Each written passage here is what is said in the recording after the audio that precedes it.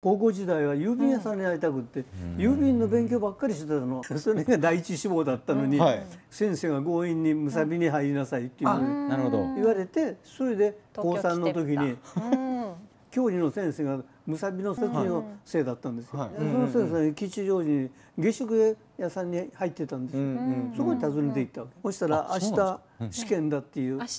前日に僕の先生が明日の受験を取りやめて教理に帰りなさいって